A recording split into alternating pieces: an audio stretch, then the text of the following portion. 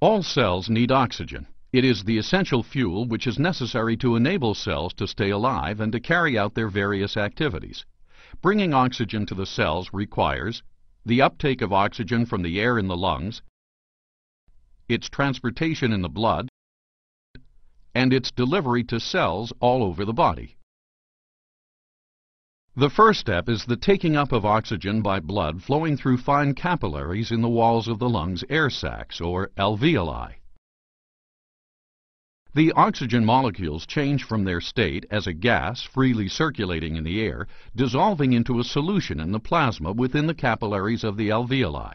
Once in the solution of the blood, 98% of this dissolved oxygen is taken up by passing red cells, leaving just 2% remaining in the physical solution unattached. Red cells are particularly well suited to transporting oxygen because they contain a special oxygen-binding protein known as hemoglobin. Each molecule of hemoglobin itself contains four molecules of heme, an iron-containing pigment, which binds oxygen loosely and reversibly. Hemoglobin that is fully saturated with oxygen is bright red and is called oxyhemoglobin. On the other hand, hemoglobin that is not saturated with oxygen is purplish blue in color and is called deoxyhemoglobin.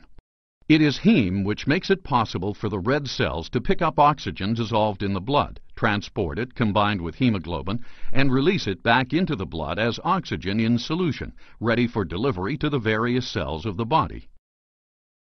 Hemoglobin gives up its oxygen as red cells travel through capillaries in tissues where there is a low content or partial pressure of oxygen. The partial pressure of oxygen represents the level of dissolved oxygen in plasma.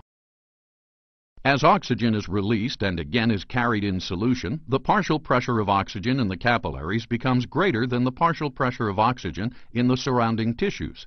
This causes oxygen to move out of the capillaries into the tissues and to finally reach the cells.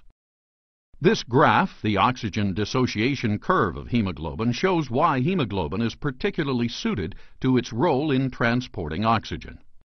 The oxygen dissociation curve demonstrates the relationship between the oxygen carried in combination with hemoglobin, the O2 saturation, and the partial pressure of oxygen in the arterial blood.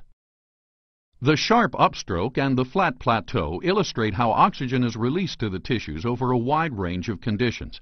Its shape means that although the partial pressure of oxygen in the blood returning from the lungs and being pumped out by the arteries may be reduced to only 50% of the normal value, say due to lung disease or high altitude, hemoglobin will still be 85% saturated with oxygen.